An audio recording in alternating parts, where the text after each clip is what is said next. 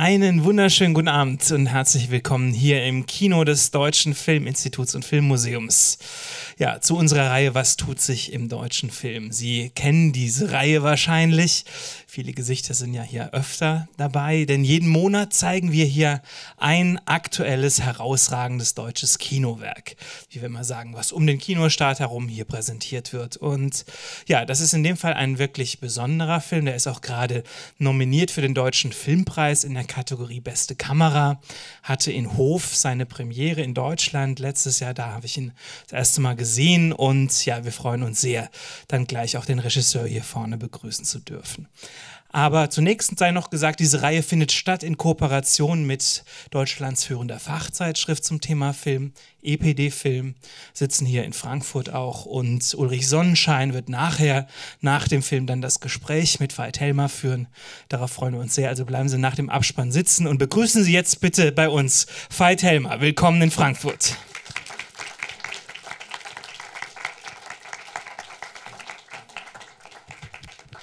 Ja, schönen guten Abend. Ähm, wir sehen heute zwei Filme, wie ich gerade erfahren habe. Äh, ja. Kein Double Feature, kein Schreck. Also der, der, erste Film ist nur sechs Minuten lang. Vielleicht soll ich dazu sagen, genau, wir zeigen statt Werbung nämlich immer einen thematisch passenden Vorfilm. Das ist normalerweise ein beliebiger Vorfilm aus der Filmgeschichte. Heute ist es ein Film vom selben Regisseur. Warum? Ja, er ist von mir und er ist von Filmstudenten aus Taschkent. Ähm, muss schon sagen, wo das ist. Das ist in Usbekistan. Der Film heißt auch Usbek Express. Und äh, ich bringe den Studenten in verschiedenen Ländern der Welt bei, Filme ohne Dialoge zu inszenieren, zu schreiben, zu inszenieren und zu schneiden. Das ist eine große Herausforderung. Letztendlich ist es so ein bisschen mein Dogma. Ähm, auch der Langfilm, den wir heute sehen werden, ist ohne Dialoge erzählt. Ähm, und thematisch hängt das sehr eng zusammen. Das ist mir dann auch bewusst geworden, als ich meinen Langfilm gedreht habe dass ich das ja schon mal äh, sozusagen ähnlich thematisch als Kurzfilm äh, das Thema verarbeitet habe. Es geht um einen alten Lokomotivführer, der die Liebe sucht, ja. Ja, im Grunde eine Vorstudie zum Langfilm, habe ich mir In einer gedacht, gewissen ja. Weise. Und es sind auch alte sowjetische Maschinen und ähm, es, ähm, äh, ja. Wie kommt es, dass du immer mal wieder Kurzfilme drehst? Naja, diese Kurzfilme sind tatsächlich eine Zusammenarbeit mit dem Goethe-Institut. Die Detlef Gericke Schönhagen, der das erste Mal ein Flugticket für mich bezahlt hat äh, zum Filmfestival in Jakarta, hat gesagt, also 1000 Euro, nur dass du auf die Bühne gehst und sagst, please enjoy my movie, wäre ihm äh, ein bisschen zu teuer. Äh, er möchte gerne, dass ich da äh, eine Lecture gebe in der Filmuniversität. Und ich habe ihm gesagt, Lecture halten in der Filmuniversität bringt so gar nichts. Also wenn die Studenten lernen wollen, wie man Filme dreht, dann kann man das eigentlich nur, indem man eine Kamera in die Hand nimmt und dann viele Fehler macht. Und ähm, das ist ein recht aufregendes Projekt gewesen, ähm, was wir damals in Indonesien gemacht haben. Das hat aber so viel Spaß gemacht und hat viele Preise bekommen, dass ich das fortgeführt habe. Und viele Goethe-Institute fragen mich da also an und einmal im Jahr mache ich das. Ähm, äh, und da ein, das kurz darauf nach Indonesien kam, glaube ich, schon die Anfrage aus Usbekistan. Und ähm, ich gebe da wirklich nur ein Thema vor. Und da war es der Bahnhof. Ein Drehort, ich habe gesagt, überlegt euch was zum Thema Bahnhof.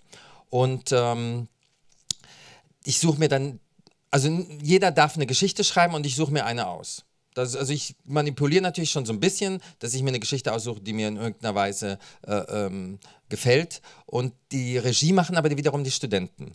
Äh, das ist ein bisschen ungewöhnlich. Hatte, das habe ich aber nicht erfunden. Das hat Wim Wenders mit uns an der Filmschule München gemacht, ähm, bei den Brüdern Skladanowski. Dass er gesagt hat, okay, ihr seid 15 Leute, der Film hat 45 Einstellungen, äh, jeder darf sich drei Einstellungen aussuchen.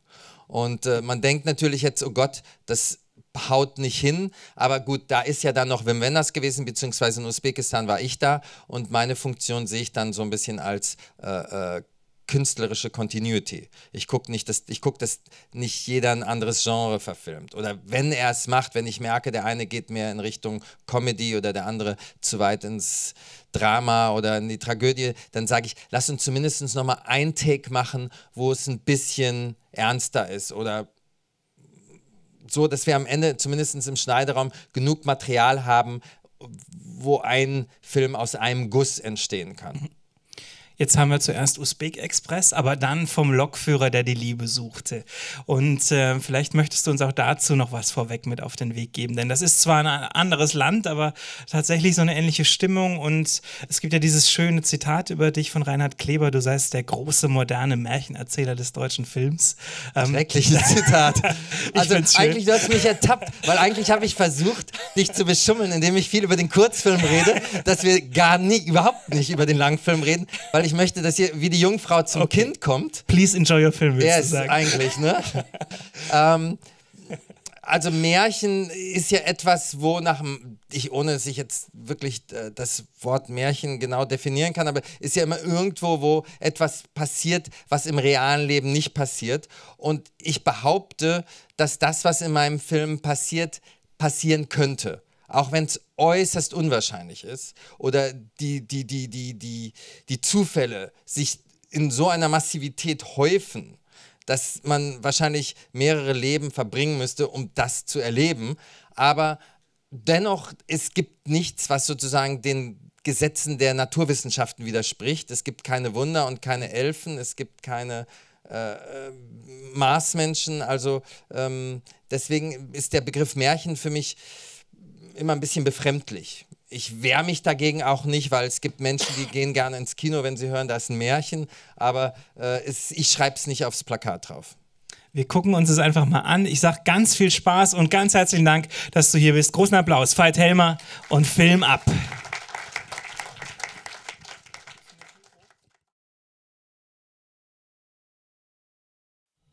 Schönen guten Abend. Ich hoffe, der Film hat Ihnen gefallen. Beginnen wir mal mit dem, mit dem Ort, diese weite Graslandschaft vor den kaukasischen Bergen. Das ist ideal für eine Eisenbahngeschichte. Wo hat das alles angefangen? In Baku, bei der Figur des Lokomotivführers oder letztendlich bei der Liebe? Also in Aserbaidschan habe ich 2008 den Film Absurdistan gedreht und das war eine wirklich schöne Erfahrung. Ähm, Aserbaidschan existiert in unseren Medien nicht, wenn da nicht der Grand Prix d'Eurovision stattfindet. Ähm, lesen wir nichts aus Aserbaidschan und aus sentimentalen Gefühlen, wenn ich mal am Flughafen warten muss, google ich ein bisschen, was ist da los und habe Bilder entdeckt von dem Viertel, wo die Züge so nah an den Häusern langfahren. Das Viertel nennen die Bewohner selbst Shanghai, äh, weil sie denken, das sieht so aus wie in China. Ähm, das war, ich würde sagen, in Sekundenbruchteilen die Inspiration für die Geschichte. Da fährt auch tatsächlich ein Zug noch lang auf diesen Schienen oder ist das lange, lange vorbei? Das ist jetzt, das hat geendet.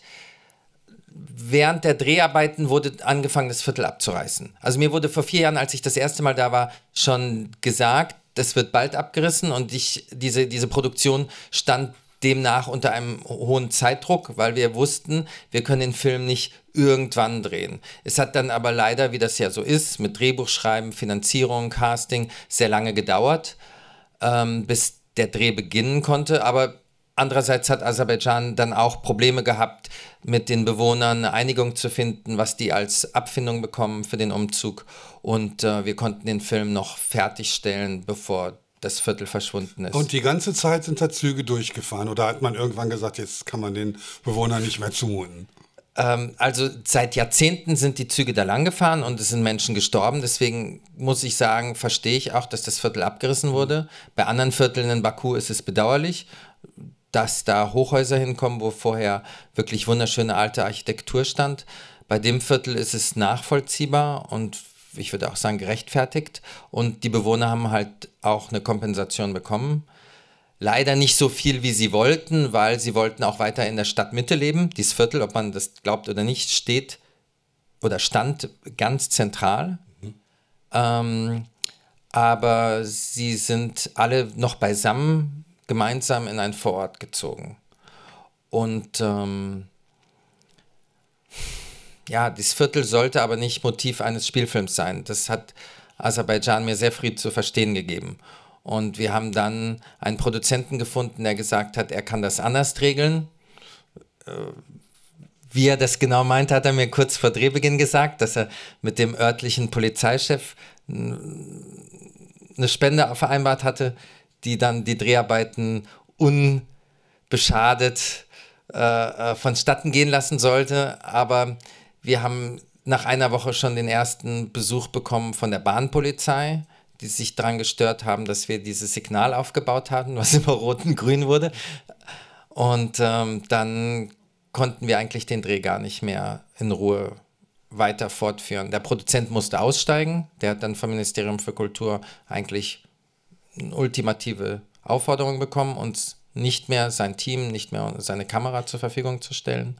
Und wir haben den Film dann quasi wie politische Aktivisten im Morgengrauen fertiggestellt. Ihr seid nicht nach Georgien ausgewichen. Das war dann der zweite Teil des Drehs. Aber das, was wir in dem Viertel drehen mussten, das mussten wir in dem Viertel drehen. Aber dann hat Aserbaidschan immer mir so mit einem suffisanten Lächeln, also das Kulturministerium, zu verstehen gegeben, dass ich den Film ja eh nicht fertigstellen kann, weil sie mir die Züge nicht geben.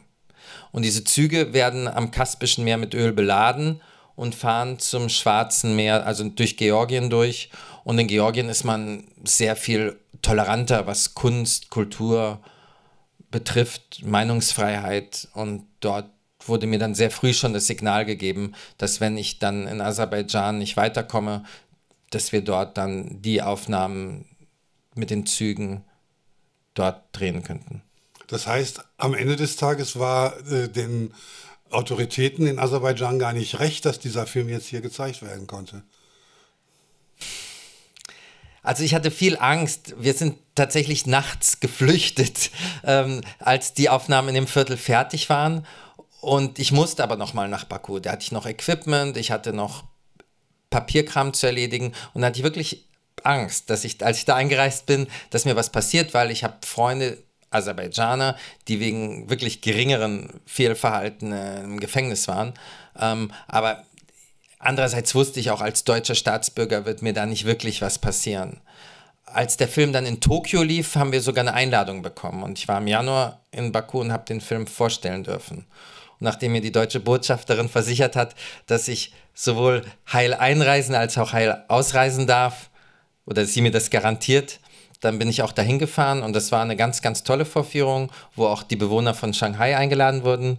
Und äh, als ich nach Deutschland zurückkam, rief die Botschafterin nochmal an und meinte, wir hätten den ersten Preis gewonnen. Also man hat seine Meinung so ein bisschen re revidiert. Zwischenzeitlich versuche ich Aserbaidschan davon zu überzeugen, dass das vielleicht der Beitrag sein könnte als bester fremdsprachiger Film.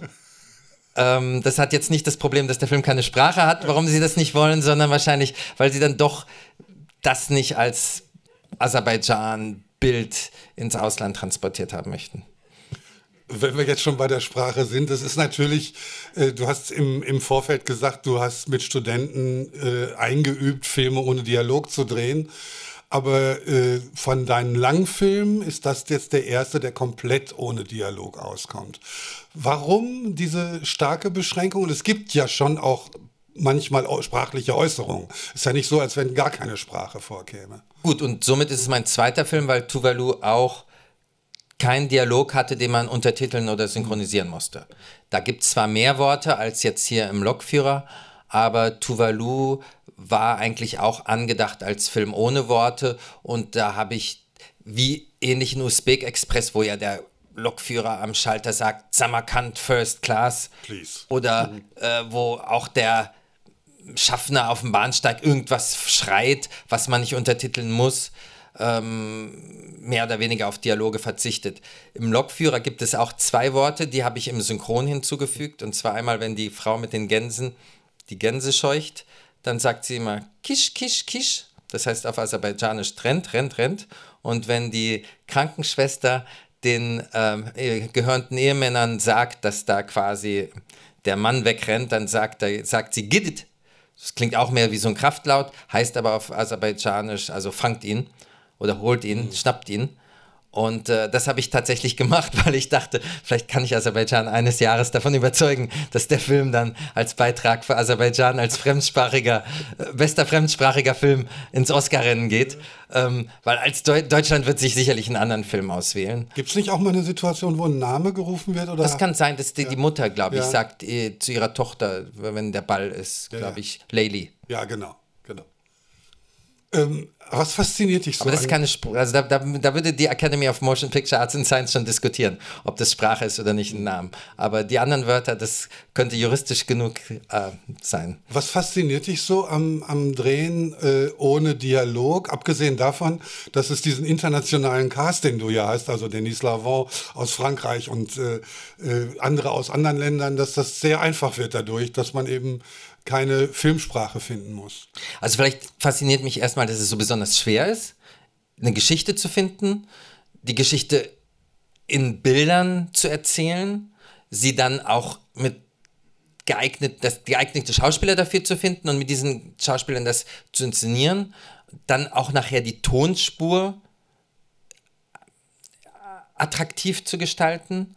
Das sind alles Sachen, die besonders schwierig sind. Und das ist äh, was Schönes, weil man ja leichte Sachen nicht so, wie soll ich sagen, die fordern mich nicht heraus, die langweilen, öden mich an. Und das ist erstmal eine spannende Sache.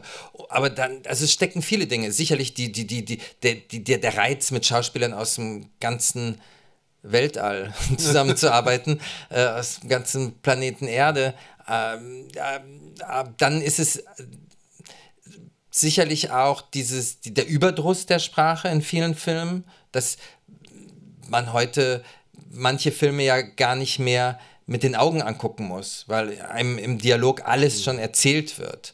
Ähm, und dann ist es aber auch diese, die, die, dieser Charme, dass dieser Film, so wie er heute hier lief, schon in so vielen Ländern lief und noch in so vielen anderen Ländern laufen wird, ohne dass er synchronisiert oder untertitelt werden muss. Ich kann es mal beschreiben mit einem ganz extrem schlimmen Beispiel. Wenn man einen Film zeigt mit Dialog in Japan und danach kommt also ein schlauer Mensch, der Japanisch und Deutsch kann, das Erste, was einem sagen wird, ist, die Untertitel waren schrecklich. Ja, ähm, und dann sitzt man da. Ich kann ja nicht alle Sprachen. Man will natürlich als Regisseur die totale Kontrolle behalten und man sitzt ja bis zur letzten Kinokopie in diesen Post-Production-Studios, um wirklich alles, jeden Titel und jede Mischung, man hat alles in der Hand. Und dann sagt einem jemand, also die, das Publikum heute, die konnten ja den Film gar nicht wirklich genießen. Die haben ja eine ganz andere, die haben ja, die, die haben ja nur die Hälfte da richtig übersetzt. Und äh, da, da, da, dann fühlt man sich sehr machtlos, weil ich kann ja nicht alle Sprachen lernen, um dann alle Untertitelfassungen machen, in denen der Film läuft. Und so weiß ich zumindestens, ich habe eine gewisse Sicherheit, dass der Film, so wie ich ihn verstehen möchte, in, verstanden wird. Also das ist auch das Schöne, dass Visuelles vielleicht sich internationaler besser transportiert als Wortwitz. Mhm. Wortwitz, das merken wir. Die erfolgreichsten deutschen Filme sind ja nicht meine Filme, sondern Komödien von Till Schweiger, der Matthias Schweighöfer, die selten über die Landesgrenze hinauskommen. Meine Filme haben nur ein ganz bescheidenes Publikum, aber sie reisen sehr viel. Also der visuelle Witz, das war ja wahrscheinlich, wenn man nicht, da wissen jetzt hier die Leute aus dem Museum mehr als ich, aber Film war ja eine ganz internationale Kunst, bis der Dialog kam. Und es ist auch, äh, das Komische lag erstmal außerhalb des Sprachlichen, also im Sprachlosen. Und dann wurde der Wortwitz erfunden im Film, als die Literatur vielleicht ein bisschen übermächtiger wurde. Also ist, äh, man kann sich natürlich auch vorstellen, dass eine tragische Geschichte ohne Worte erzählt wird, aber mehr Spaß macht es doch, wenn man eine Komödie macht.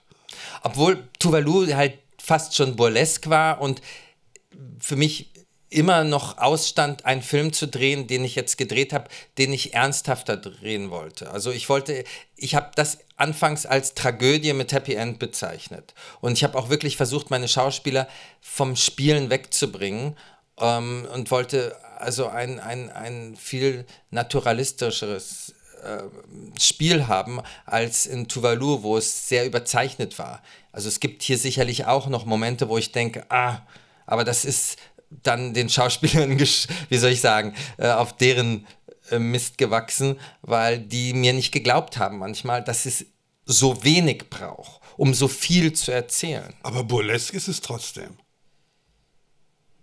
In Maßen, würde ich sagen. Natürlich gibt es Szenen, die vollkommen burlesk sind, wie im Brustkrebsvorsorgebus ja. oder so. Aber ich hoffe, es gibt auch Szenen, also wünsche ich mir, dass die auch, dass es sehr viel poetische Szenen gibt. Das war zumindest mein Anliegen. Das Burleske ist ja nicht zwangsläufig nicht äh, ernst oder nicht äh, poetisch. Das Burleske kann auch sehr poetisch sein.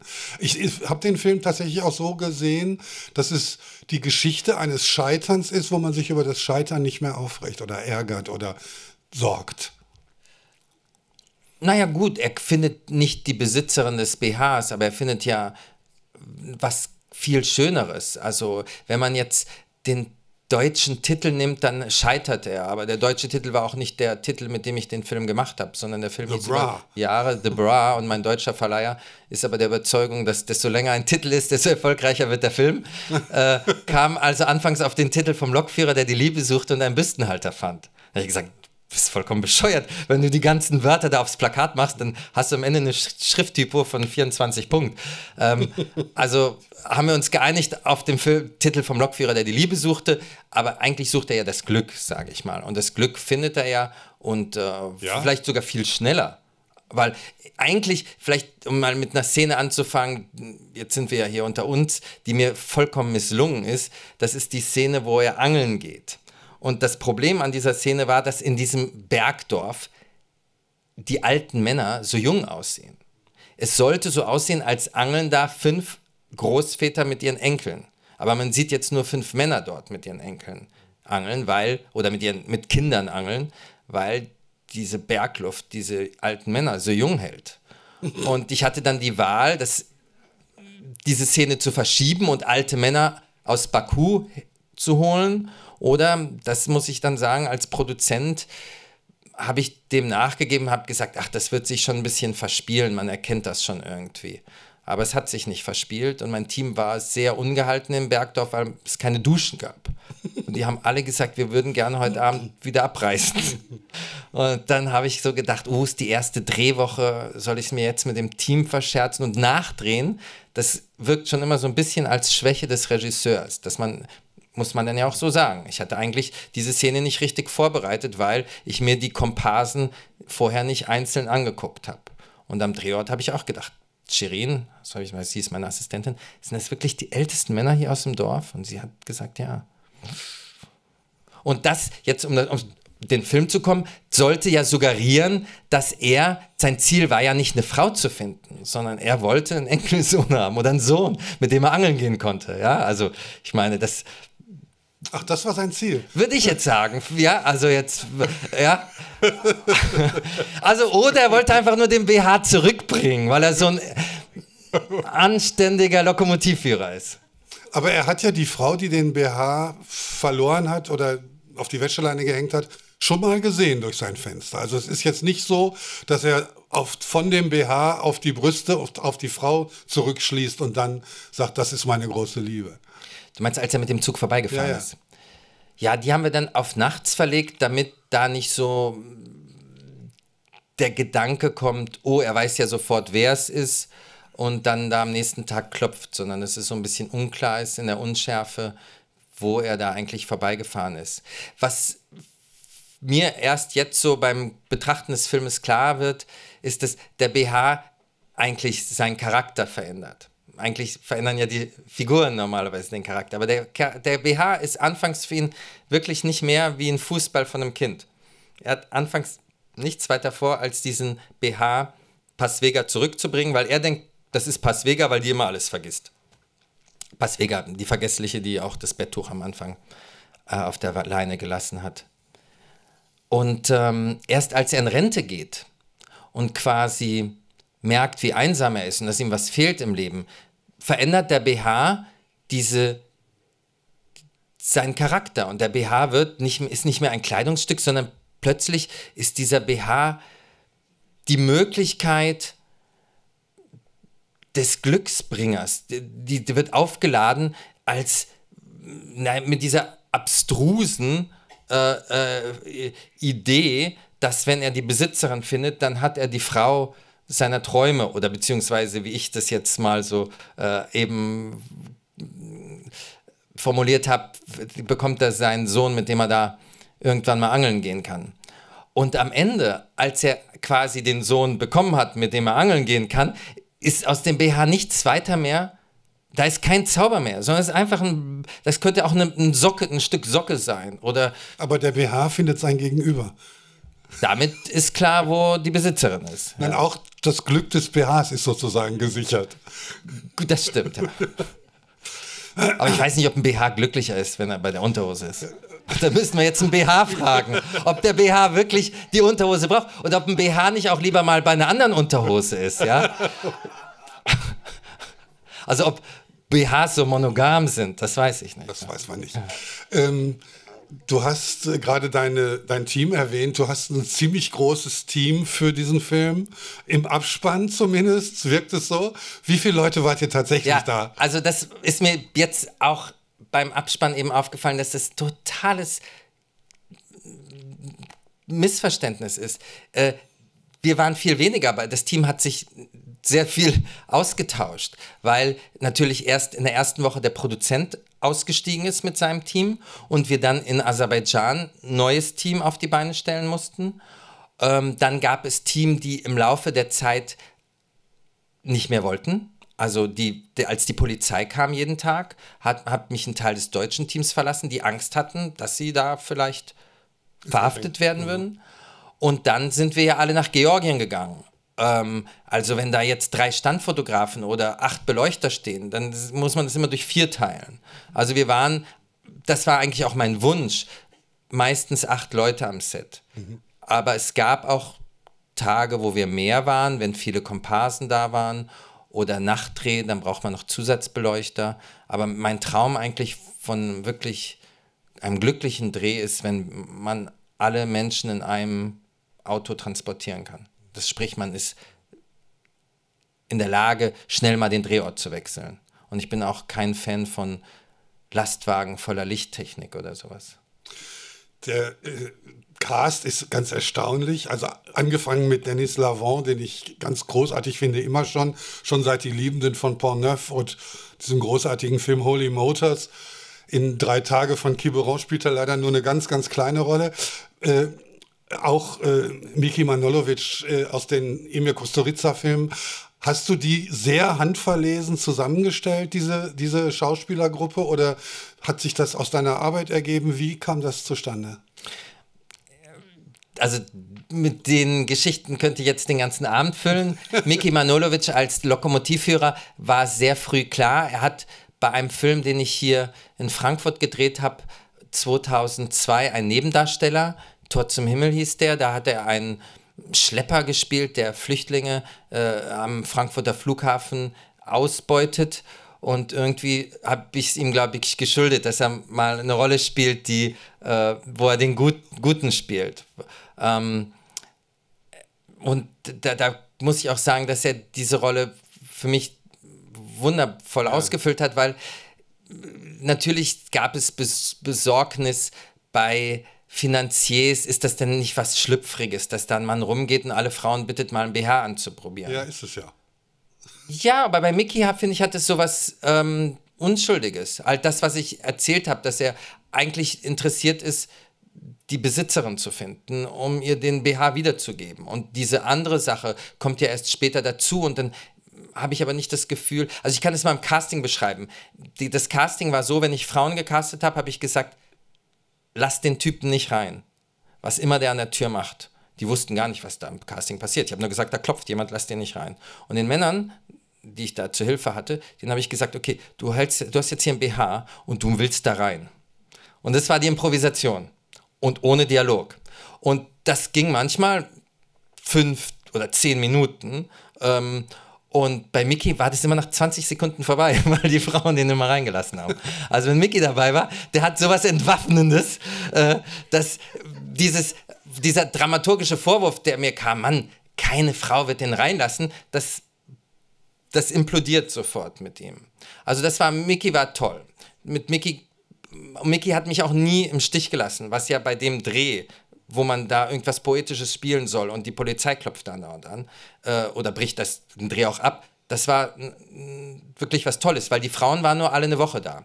Und die Frauen, ja, da muss ich zu jeder Einzelnen was sagen. Ich versuche mal nur zu den Spannenden, wo es, also die haben alle diese Improvisation gemacht, immer die gleiche. Und dann habe ich mir überlegt, welche Rollen spielen die im Film. Also und dann habe ich noch gemacht, wie die tanzen und ähm, sich vorstellen, dass sie da vor so einem Millionenpublikum sind. Also diese Szene mit der, die, die, die Französin am Ende spielt. Die Schauspieler mochten das Buch gerne. Manche haben dann das Angebot ausgeschlagen, weil es ja nur eine Woche Dreh war. Und wenn zum Beispiel Adriana Ogate äh, dann auf einmal einen langen Spielfilm reinbekommt, dann sagt sie mir dann auch ab. Denis Lavant war gar nicht geplant. Also Denis Lavant ist dieser äh, Nachfolger der Lokführer. Da wollte ich einen belgischen Sänger haben namens Stromae. Oh, okay. Und für den war die Rolle geschrieben.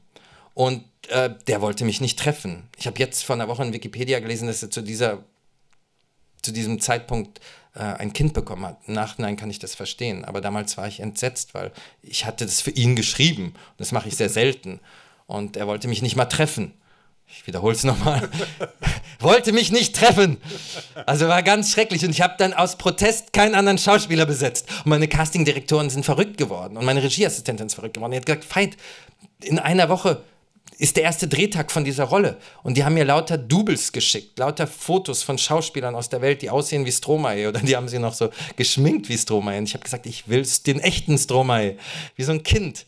Und dann war mir aber klar als Produzent zwei Tage vorher, ich muss mich jetzt entscheiden.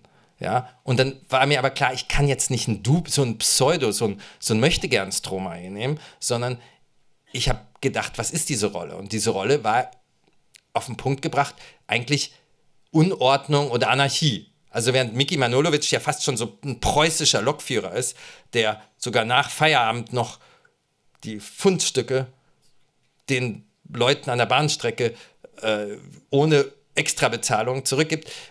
Übrigens sehr ähnlich zu dem Kind, der ja eigentlich auch nur Bedienung im Teehaus ist und quasi mit der Pfeife rumrennt. Also da gibt es eine Verbindung.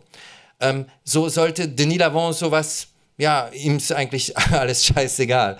Äh, ich mache meins auf meine Art. Äh, also diese Rolle, guck, jetzt sage ich Denis Lavant, ne? also äh, der, der, das, das war mir dann klar, das könnte Denis Lavant spielen, obwohl der ja ganz anders ist als Stromae. Und ich musste die Rolle auch total verändern. Also bei Stromae gab es viel mehr physische Tanzsachen. Und das, das ist der von Hollande Danse. Ne? Ja, ja, formidabel. Also formidabel war für mich diese Sternstunde, wo ich dachte, diesen Menschen muss ich ich muss ihn entdecken und ich werde ihn, in, ich werd ihn zum Filmstar bringen, machen.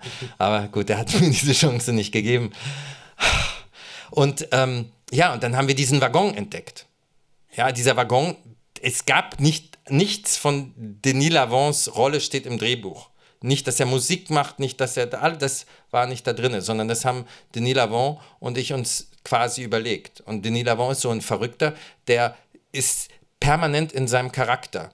Und als wir mit diesem Zug dann innen gedreht haben und alle ausgestiegen sind und schnell, wir hatten zwei Minuten Zeit, unser Equipment da rauszubringen, weil dieser Ölzug musste weiterfahren. Ich bin jetzt in Georgien, wie man merkt.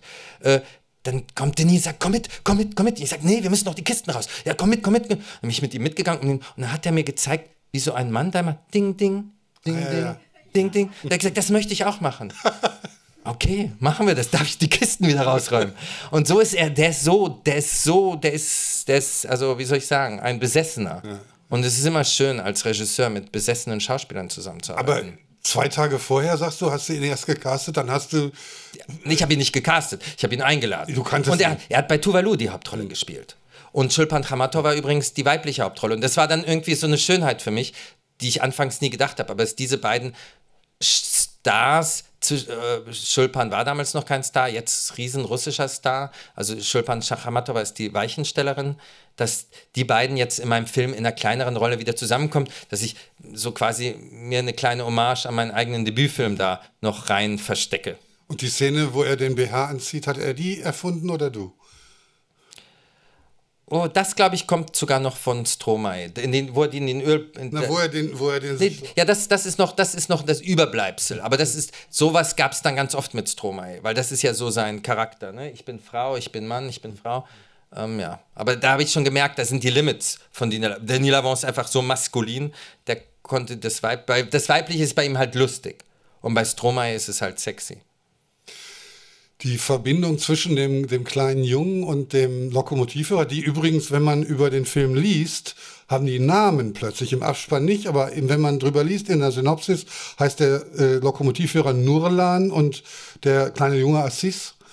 Na gut, man schreibt ein Drehbuch und wenn man Schauspieler, wenn man da schreibt kleiner Junge, okay, bei dem Kind ist egal, äh, die freuen sich eh, wenn sie mitspielen dürfen, aber so ein Star sagt, du bist der Lokführer und du bist die Vergessliche, dann äh, ist das, dann denken die, die spielen eine kleine Rolle. Mhm. Also gibt man den richtigen Namen. Auch wenn, und dann später beim Abspann dachte ich, das macht jetzt überhaupt keinen Sinn, da erkennt ja keiner die Schauspieler wieder. Also habe ich dann das geändert. Aber dieses Presseheft, auf das du dich beziehst, ist wahrscheinlich noch vor Herstellung des Abspanns ja. entstanden. Also die, was ich aber eigentlich fragen wollte, ist die Parallele oder es gibt eine viel stärkere Parallele zwischen den beiden, nämlich dass sie beides Hoffnungsträger und tragische Figuren sind. Also der kleine Junge sozusagen spiegelt äh, das, was dem Lokomotivführer zustößt, nämlich der Hass und die Eifersucht der ganzen männlichen Bevölkerung. Und er verliert seinen Job und muss gehen und so. Und sie finden sich dann am Ende miteinander wieder im Glück. Also der Junge wird ja quasi auch gefeuert, weil er da ähm, dem Lokführer geholfen hat. Ne? Also ist ja, der opfert ja alles. Ne? Also ich meine, das ist ja ähm, es gab auch mal ein anderes Ende, was überhaupt nicht so gut war. Ich versuche mal, ob ich das zusammenkriege. Das ist nur ein bisschen von der Umstellung anders.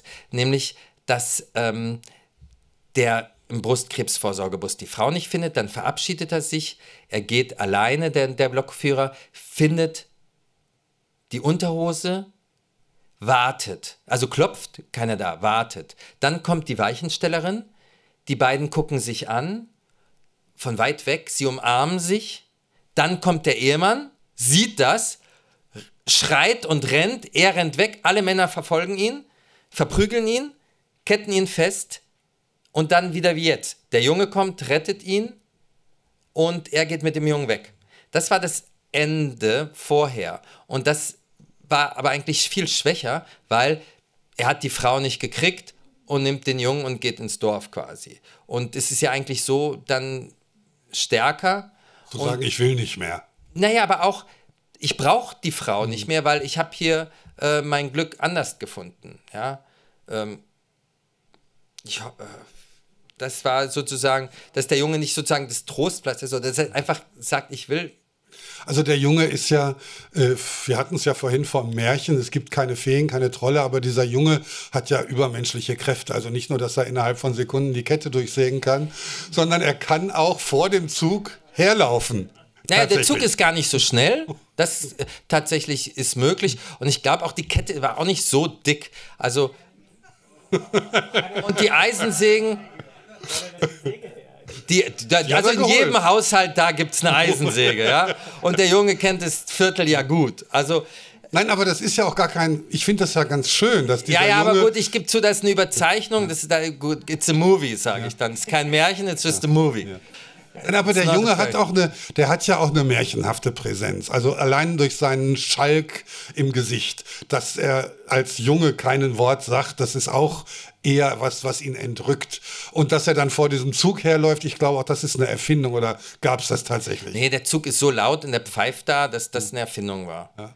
Äh, aber zu dem Jungen möchte ich möchte mit den echten Jungen kurz sprechen, weil der echte Junge war ganz wichtig von Sandré und zwar nicht nur, weil er so ein toller Schauspieler war, sondern weil er aus dem Viertel kam. Mhm. Das heißt, dieses Viertel war sehr misstrauisch. Ja, vor allem, wenn wir Szenen gedreht haben, wo lauter BHs vor dem Haus hingen, dachten die, wir drehen da drinnen Szenen, wo lauter Frauen ohne BHs vor der Kamera sind. Und der Vater dieses Jungen, der in dem Viertel eine gewisse Machtposition hat oder so eine gewisse, ja, der wurde geschätzt da. Der hat dann den Leuten in dem Viertel gesagt, hört mal zu, die machen Kunst und das ist kein Porno. und somit war das sehr gut, dass wir da so einen Rückhalt hatten. Und wenn die Polizei kam, dann hatten die uns innerhalb von zwei Minuten Bescheid. Also wir wussten immer vorher, bevor die Polizei kam, dass die Polizei kommt. Zum Teil haben wir uns versteckt und haben weitergedreht. Zum Teil hat die Polizei aber auch gewartet. Dann mussten wir einfach irgendwo über Hinterhöfe weg. Und ähm, also da, da, da, das und die haben den Film richtig gefeiert mit dem Jungen jetzt in Baku. Also die sind richtig stolz drauf auf den Film. Also der Junge war toll. Wir hatten vorher andere Jungs ausprobiert aus Baku, die so da schon in Filmen und Werbespots und Fernsehen gespielt haben und die haben alle mal gelächelt. Und das war natürlich vollkommen der falsche Ausdruck für diesen Charakter. Deswegen habe ich gesagt, lasst uns doch in dem Viertel casten. Und dann haben die da, also da hat sich da auch innerhalb von 20 Minuten rumgesprochen, da waren da 200, alle kleinen Kinder. Und der Älteste, der am Ende den, den, den Nachfolger spielt, der Blonde, der hat den anderen Kindern gesagt, geht alle nach Hause, ich habe die Rolle. Und dann meine Assistentin, die noch vorbereitet hat, guckte dann, da war nur der eine Junge noch. Und sie sagt, wo sind denn die ganzen anderen Kinder? Und so, die wollten nicht mehr, hat er gesagt. und dann musste er sich ganz hinten anstellen. Dann haben wir gesagt, okay, hör mal zu, ja? Die kommen jetzt ganz schnell und du bist ganz hinten. Aber er war halt auch gut, hat auch eine Rolle gekriegt.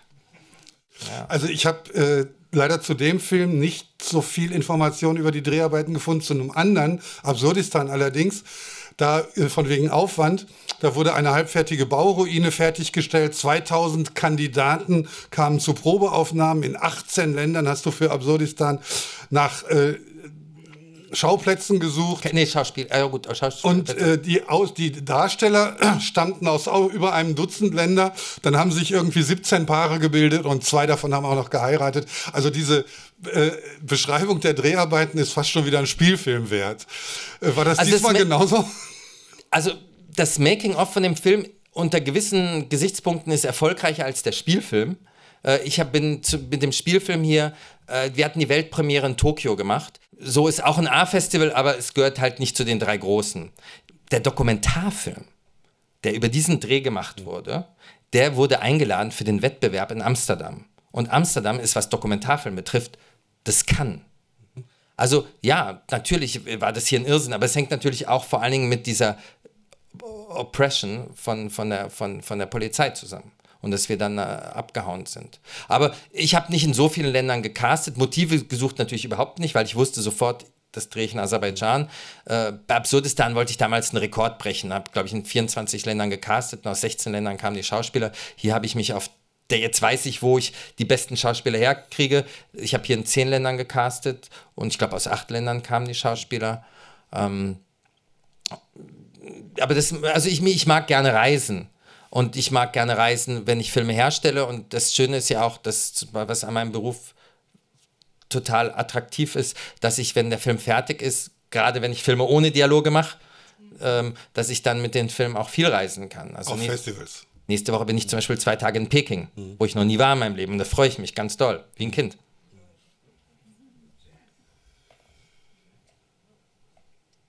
Der, äh, der Dokumentarfilm dazu, der kommt auch bei uns in die Kinos? Na, der ist 35 Minuten. Das wird, die Kinos wird das schwer haben. Ähm, da er aber, die, diese, die Regisseurin hat mich gebeten, da er noch auf Festivals läuft, dass ich ihn noch nicht zeige. Ich wollte ihn, ich, war, ich wollte ihn eigentlich meinen Sendern anbieten. Bei Absurdistan lief damals das Making-of im Fernsehen, aber die ARD ist, tut sich sehr schwer, ihre eigenen Produktionen zu bewerben. Also meine Sender, die hier dabei sind, denen ich ja den, den, die Herstellung des Filmes verdanke, ähm, aber denen sage ich auch ganz offen ins Gesicht, was ihr macht, ist grausam. Ja? Also ihr helft mir gar nicht, wenn der Film rauskommt. Ähm, wenn ein privater Sender einen Film unterstützt, dann sind alle Schauspieler im Morgenfernsehen, dann schalten die Werbespots, äh, da kriegt man richtig Unterstützung. Hier ist es teilweise umgedreht. Also ähm, der HR macht einen Radiobeitrag äh, über meinen Film, der NDR, der bei dem Film mhm. beteiligt war, hat über meinen Film nichts gemacht. Da sagen die Redakteure, also wir müssen doch nichts machen, nur weil wir an dem Film beteiligt sind. Ähm, nein, müsst ihr nicht, aber ihr könnt es vielleicht. Es ist ja nicht was Schlimmes, für das ihr euch schämen müsst. Es ist ja nicht jetzt ein Film, aber dann fühlen sich manche Menschen äh, beim Sender so, als wären sie Erfüllungshilfen der Spielfilmabteilung. Also es ist sehr, sehr schwierig, ähm, manchmal ähm, da Promotion zu machen und dieses Making-of weiß ich noch nicht, wie das ausgewertet wird. Natürlich kommt es auf die DVD drauf. Wer überhaupt noch weiß nicht, ob das doch DVDs angeblich werden in Deutschland noch verkauft, mehr als in anderen die Ländern. Leute kennen das noch, ja. Aber ähm, ja, vielleicht dann irgendwann mal online. Du hast große Teile von diesem Film oder ganz auf Film gedreht, das ist ja auch wichtig. Äh, ist das nicht aufwendig? Kann man nicht irgendwie auch mit so einem kleinen Kamerachen besser drehen, vor allen Dingen, wenn man vor der, Wo hast- Poliz wo hast vor der du- Polizei äh, Wo hast du es her, dass ich auf Film gedreht habe? am Ende steht Ari darunter? Nee, Doch? Nee? nee. Gut. Also ich habe nicht auf Film gedreht. Ah ja, okay. Sondern, Warum lachst du? Ja. ja. Das hat ein Künstler gemacht. Also ich habe so einen Künstler, einen VFX-Artist, der hat Jahre für mich gearbeitet, alle Kratzer rauszumachen Das macht und dem Bild stand immer zu korrigieren und alles perfekt zu machen, äh, solange ich auf Film gedreht habe. Und jetzt war er sehr traurig, als er gehört hat, ich drehe digital. Dann habe ich, nee, nee, nee, ich brauche dich. Du musst alle Kratzer, die du rausgemacht hast, jetzt wieder reinmachen. Aber das sage ich auch normalerweise keinem, weil ich freue mich ja. Also, das, auch der, Fel der, also der Festivalleiter in Tokio war richtig entsetzt, als er das gehört hat, weil er auch dem Publikum halt gesagt hat, heute sehen Sie noch mal einen Film auf Film gedreht. Ich muss dazu sagen, wenn ich heute einen Film auf Film drehe, dann würde das nicht so aussehen. Das sieht perfekt aus. Die Amerikaner drehen ja zum Teil noch auf Film. Steven Spielberg macht das. Äh, Das sieht aus wie digital. Also das macht keinen Unterschied mehr. Also man muss, ich wollte ja auch nicht, dass der Film aussieht wie auf Film gedreht, sondern ich wollte, dass er aussieht wie auf Film gedreht und als ob er schon drei Monate im Kino gelaufen ist. Also quasi das sozusagen diese ganze Abbrief. Zauber Ja. und als wäre die Kopie eigentlich 50 Jahre alt und hat, da gibt es also, ja und dann gibt es aber auch noch so ein Pumpen.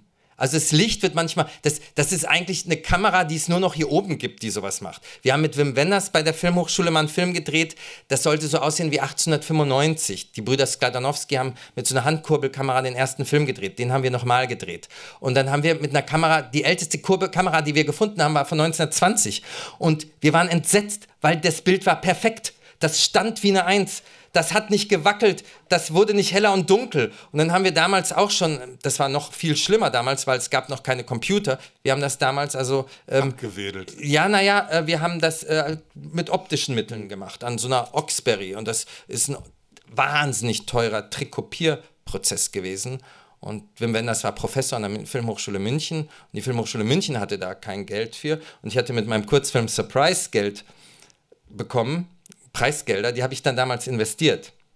Und so bin ich Co-Produzent eines Wim Wenders Film geworden. Das ist übrigens der Film, den ich Ihnen allen sehr ans Herz legen möchte. Surprise, einmal bei YouTube eingeben.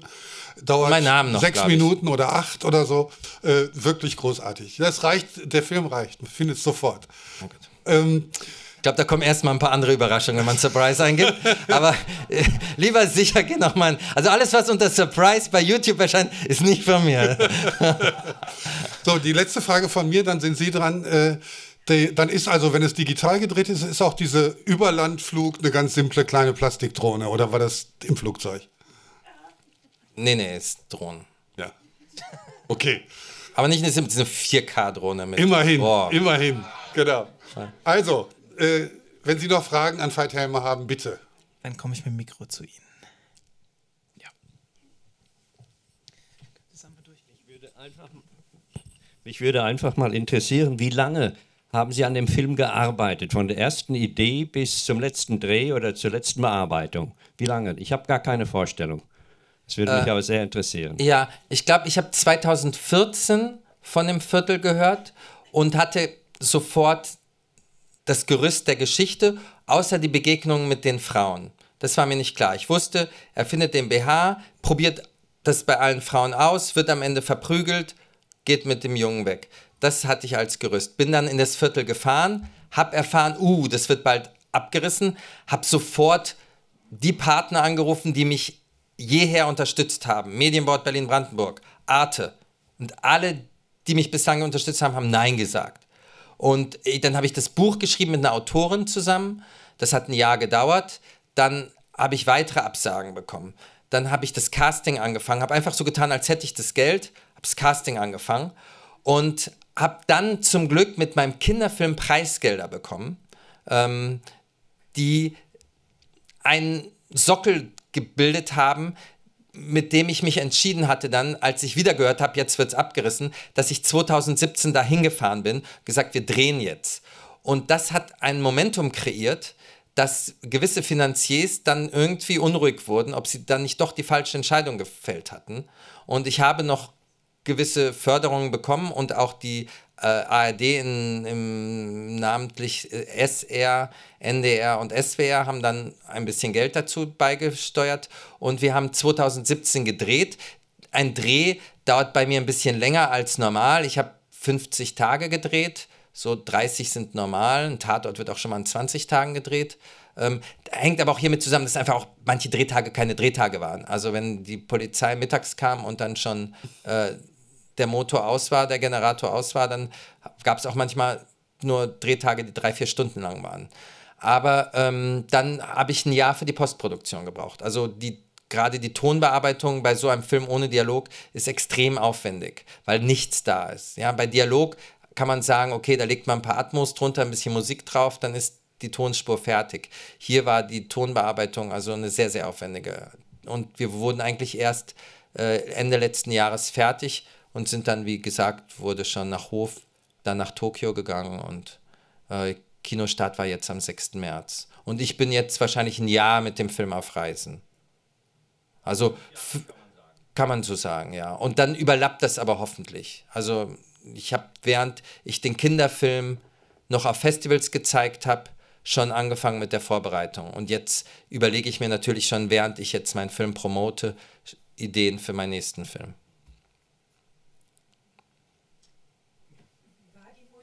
Von Anfang an genau so vorgesehen?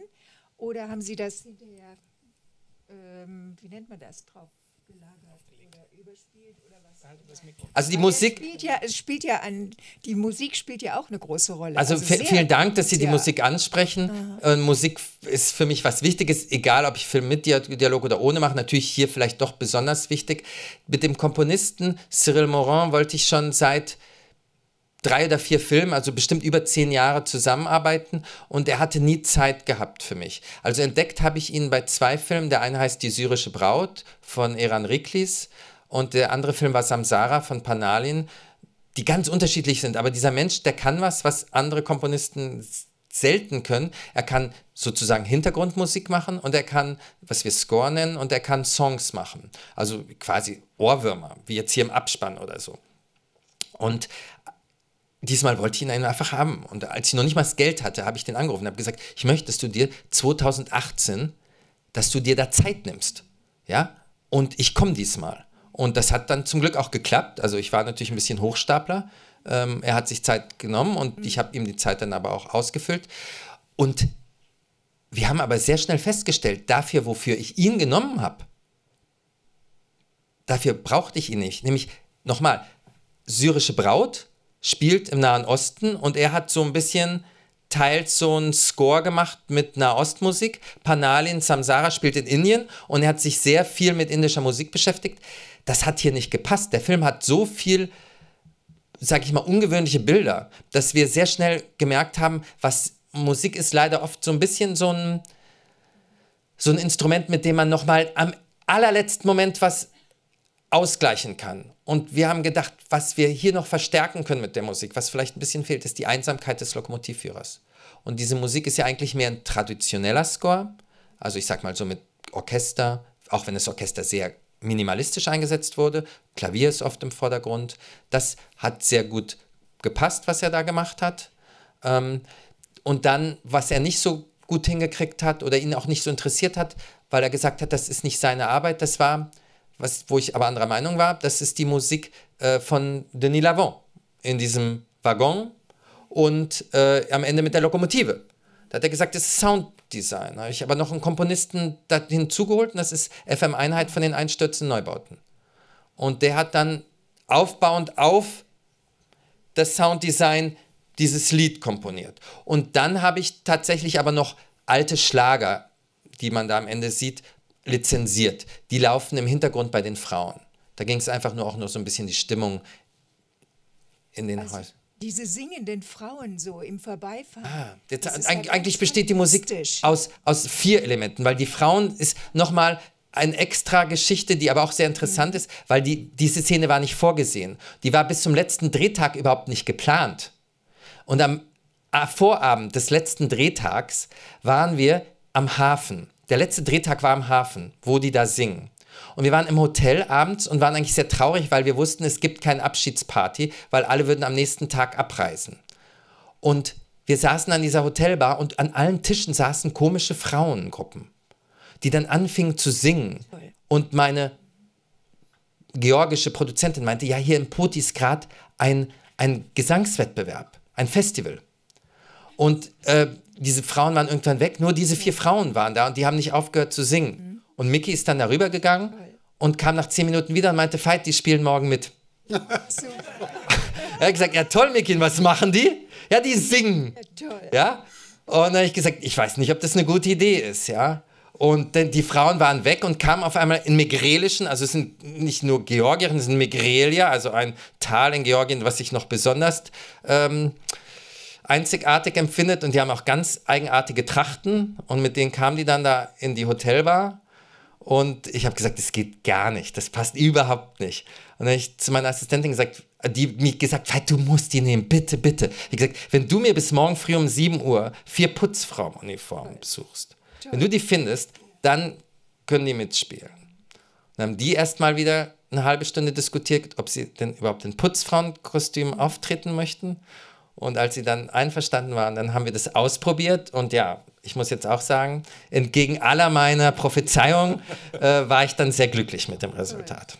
Also die Poesie des Filmes wird durch die Musik so unterstrichen. Also ohne die Musik wäre der Film also auch nur halb so wirkungsvoll meines Erachtens. Obwohl ich versucht habe, die Musik doch sehr minimalistisch oder reduziert einzusetzen. Ja? Also der Film hat vielleicht halb so viel wie Musik wie heutzutage Fernsehspiele haben. Heute ist ja oft so, Film fängt an, Musik fängt an. Film hört auf, Musik hört auf.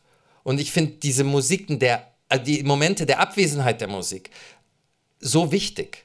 Ähm, und ich finde, wenn Musik einsetzt, das sind so die starken Momente für mich. Also in Cue-Points nennen wir das. Und auch wo Musik aufhört. Das sind, Musik ist stark, aber auch Einsatz von Musik und wir haben zum Beispiel, ich weiß nicht, ob Sie das gemerkt haben, wir, wir haben so einen Witz gemacht. Und zwar mit den Songs. Die Songs hören immer alle abrupt auf, mit Logik oder ohne. Okay, bei der Tänzerin macht er die Musik aus. Bei dem BH, der platzt, da hört die Musik so auf, als wäre irgendwas von dem BH gegen den Plattenspieler gegangen. Und so haben wir uns da oft, dass die Musik so, bei Passwega hört die auch auf, ohne Grund einfach. Also ist bei den Frauen ist es immer so ein bisschen cozy, mit dieser schönen, landestypischen Musik. Aber in dem Moment, wo der BH nicht passt, ist die Musik vorbei. Noch eine Frage. Wenn Sie doch im Moment Ihren Film in den anderen Ländern vorstellen, beziehungsweise ähm, wie, wie funktioniert das? Müssen Sie sich bewerben oder kommen die anderen Länder auf Sie zu? Wow, das ist jetzt ähm, äh, am Anfang natürlich muss man selber, obwohl es auch Festivals gibt, die kommen auf einen zu, die hören schon. Also man macht ja schon ein bisschen PA während dem Dreh. Dann gibt es so Fachzeitschriften wie Screen International, die zeigen schon mal ein Foto, oh, Veit Helmer dreht mit Pasvega in Aserbaidschan. Dann ist man schon mal auf dem Radar von den paar Festivals, die sozusagen äh, meinen, sie müssen jetzt immer die Weltpremieren haben. Und dann wird man auch mal eingeladen, den Film einzureichen. Aber das ist sehr, sehr unterschiedlich. Also es gibt Festivals, da muss man Geld zahlen, damit die sich den Film anschauen. Ich glaube, sogar alle Festivals in Amerika funktionieren überhaupt so. Die haben ja keine staatliche Unterstützung, dass man dort Geld für die Einreichung zahlt. Das heißt, die haben 5000 Zusendungen und wählen am Ende 100 aus. Das heißt, 4900 Filmemacher haben da 50 Dollar umsonst gezahlt, nur damit der Film überhaupt mal angeschaut wird. Also da mache ich nicht mit. Also wir, das muss ich auch mal so erzählen.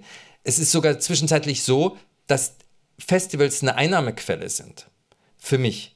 Also früher gab es noch überall Kunstkinos auf der Welt und ich konnte meine Filme nach Portugal verkaufen oder in Länder wie Rumänien oder Bulgarien. Da gibt es keine Arthouse-Kinos mehr und es gibt auch keine Arthouse-Verleiher mehr. Aber es gibt Festivals, die quasi diese Funktion übernommen haben. Die finden dann gleich in mehreren Städten statt. Die haben da alternative Spielstätten.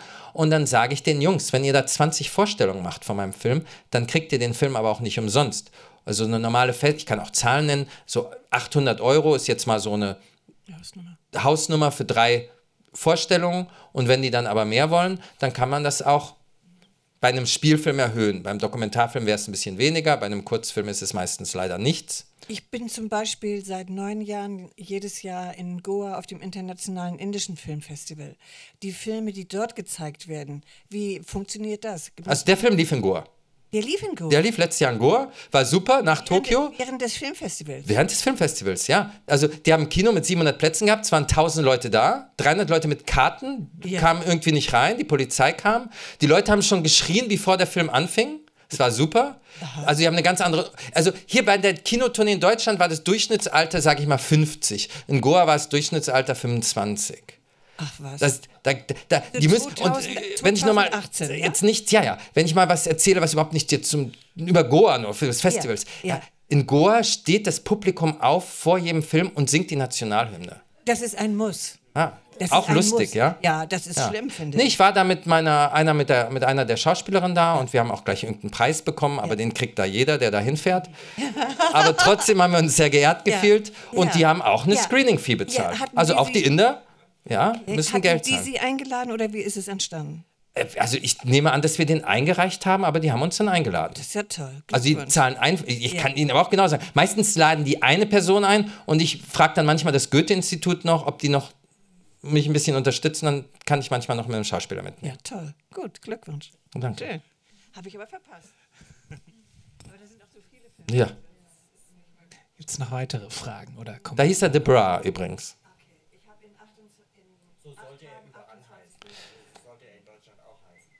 Also wenn es keine Fragen mehr gibt, ich habe draußen noch Plakate. Ja. Ich habe eine.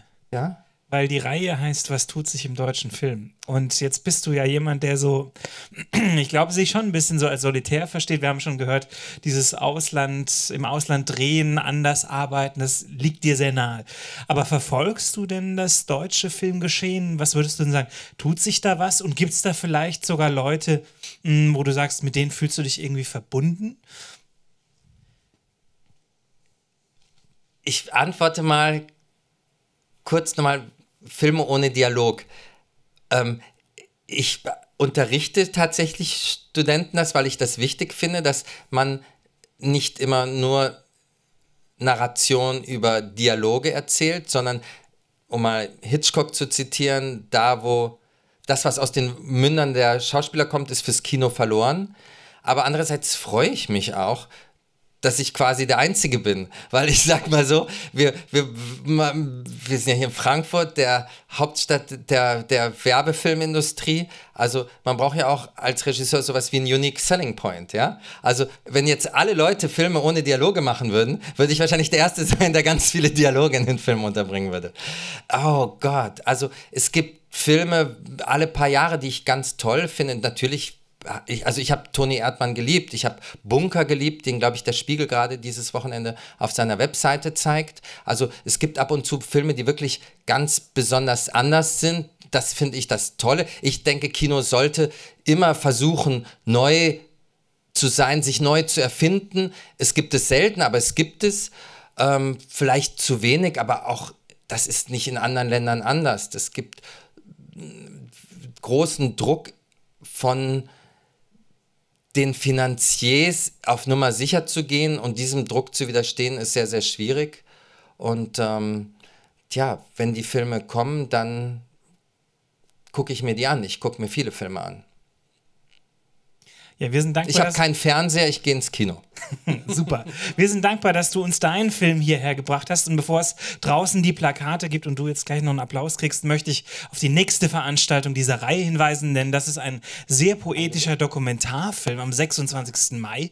Sunset over Hollywood. Es gibt tatsächlich ein Altersheim für alte Filmemacher am Ende des Mulholland Drives in Los Angeles. Und Uli Gaulke wird kommen und uns diesen Film vorstellen am 26. Mai. Aber jetzt erstmal herzlichen Applaus nochmal für Veit Helmer, für das tolle Gespräch und einen tollen Film. Danke auch Uli Sonnenschein und Ihnen fürs Kommen. Bis bald.